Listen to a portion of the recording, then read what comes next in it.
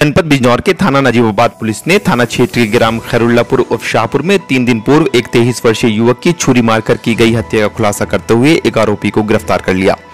गौरतलब है कि इक्कीस जून को फूल सिंह के पुत्र 35 वर्षीय नवनीत की पेट में छुरी मारकर हत्या कर दी थी।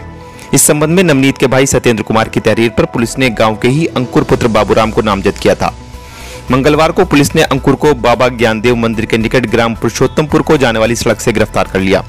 पुलिस ने अभियुक्त की निशानदेही पर छुरी बरामद कर ली है।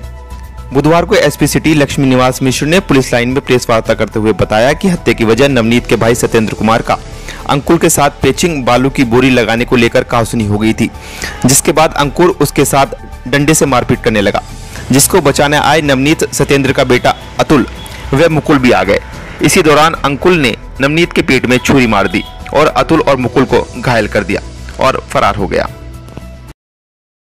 जो खुलासा किया गया है आज क्या मामला है ये बारू की गोली नदी के किनारे लगाने को लेकर के विवाद हुआ था इसमें मारपीट हुई और चाकू मारने से एक व्यक्ति की मृत्यु हो गई थी। आज अभियुक्त को गिरफ़्तार किया गया है।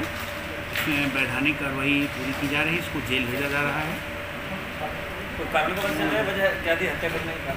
केवल बारू की कटान नदी के किनारे कटान हुआ था उसमें मनरेगा के तहत काम कराया जा रहा था। बालू की बोरी लगवाई जा रही थी। इसी को लेकर के आपस में इनका विवाद हुआ था, मारपीट हुई थी।